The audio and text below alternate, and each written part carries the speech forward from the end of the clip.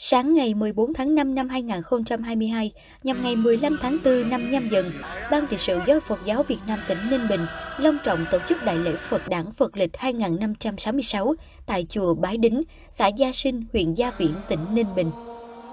Quan Lâm chứng minh và tham dự có Hòa Thượng Thích Thanh Diệu, Phó Chủ tịch Thường trực Hội đồng trị sự Giáo hội Phật giáo Việt Nam, trụ trì chùa Bái Đính.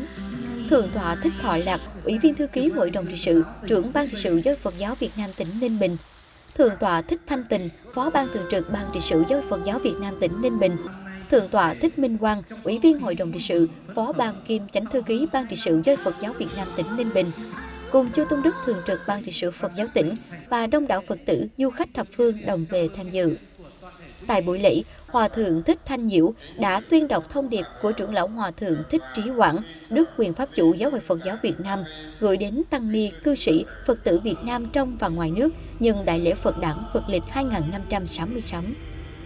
Tiếp đó, Thượng tọa Thích Thọ Lạc đã tuyên đọc diễn văn Phật đản Phật lịch 2566 của Hòa Thượng Thích Thiện Nhân, Chủ tịch Hội đồng trị sự Giáo hội Phật giáo Việt Nam.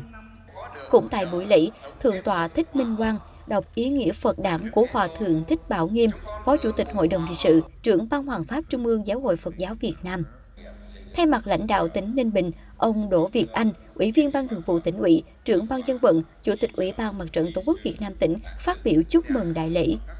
Trong không khí trang nghiêm thanh tịnh, cung đối trước tôn tượng Đức Phật đản sinh, Chư Tôn Đức chứng minh cùng toàn thể hội chúng đã thành kính thực hiện nghi thức nguyện hương cúng dường, tụng sám Phật đản và kinh chuyển Pháp Luân, cầu nguyện cho thế giới hòa bình, chúng sinh an lạc, dịch bệnh tiêu trừ. Trong giờ phút thiêng liêng, Chư Tôn Đức chứng minh, đại diện chính quyền cùng toàn thể quý Phật tử đã lần lượt thực hiện nghi thức tắm Phật truyền thống, đồng hồi hướng cầu nguyện cho ánh sáng chính pháp mãi lưu truyền nơi thế gian, làm lợi ích an vui cho muôn người và muôn loài.